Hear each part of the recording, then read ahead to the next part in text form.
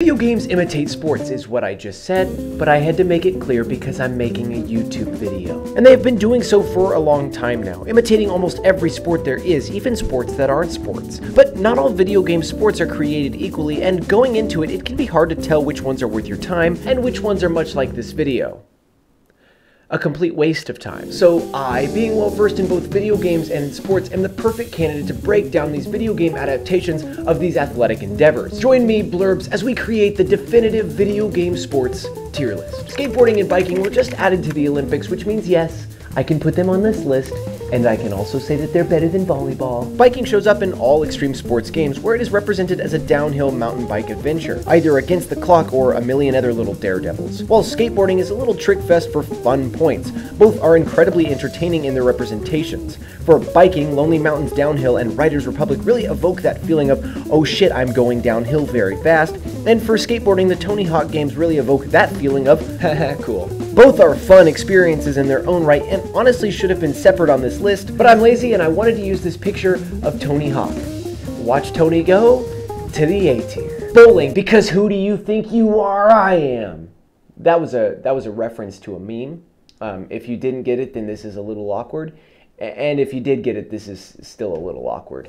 Bowling is more than just a sport, it's also a firing range in the Dreams game Bowling with Guns. But I digress. Bowling has been afforded a spot on this list purely due to its prolific nature throughout Nintendo sports games, which opt out of using guns, which is kinda lame. Bowling is a thrilling video game experience where you, you guessed it, throw a ball down a lane. The satisfaction of nailing a strike with your real arm's motion is top tier. And also shooting pins with a gun is pretty cool too, so bowling receives a respectable B tier placement. Soccer, also known as not American football, is a game about kicking a ball into a net, and in real life is incredibly boring, but its simplicity makes it perfect for video games. All sorts of games opt to throw soccer into the mix, because why not? Well, I'll tell you why. Because of microtransactions but we're not going to talk about that right now. Because soccer is always a fun and competitive time, from Fall Guys to FIFA, running up and down the field frantically trying to score a goal is enjoyable even for a hater like me, so go ahead and put it in the A tier, A as in the A in goal, is in the word goal.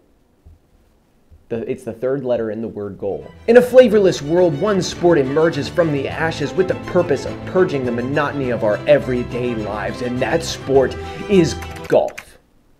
Yes, the golf that you were thinking of. While playing and watching golf in real life might be the biggest chore imaginable, video game golf is so incredibly good that I get the desire to play golf in real life and then I beeline a ball into the water and go right back to virtual golf. There is just such an intense satisfaction from watching a putt sink into the hole or chipping a ball right next to the pin that I can't be helped but be hooked. From indie games like Golf Story to AAA experiences like PGA 2021. This feeling is unmatched and puts golf in the top tier of video game sports which is the S tier. Hey you, if you're such a volleyball fan, go ahead and name every volleyball video game ever created.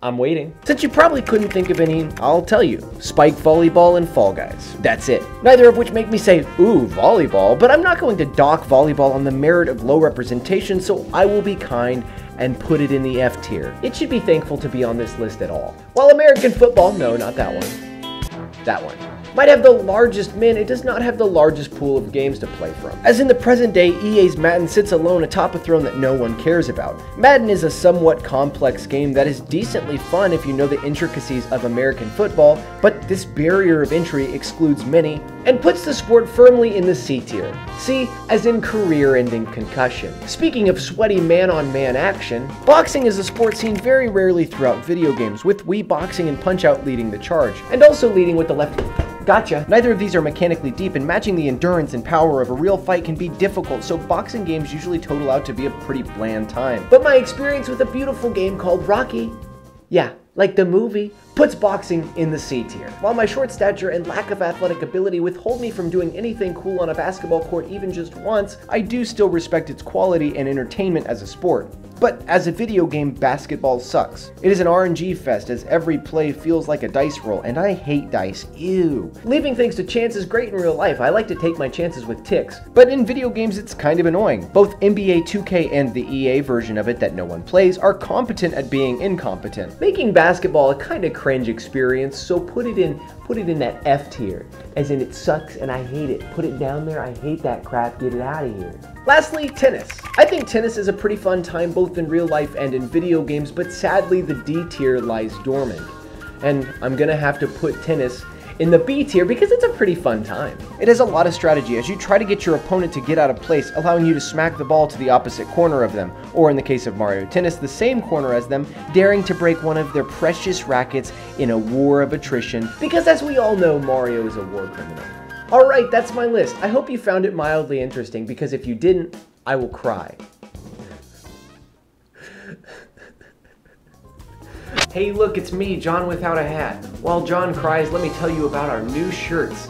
We have new shirts available over on the Teespring website uh, with the new logo on it. Um, you should go purchase one if you want to support the channel. All right, back to back to Jon crying.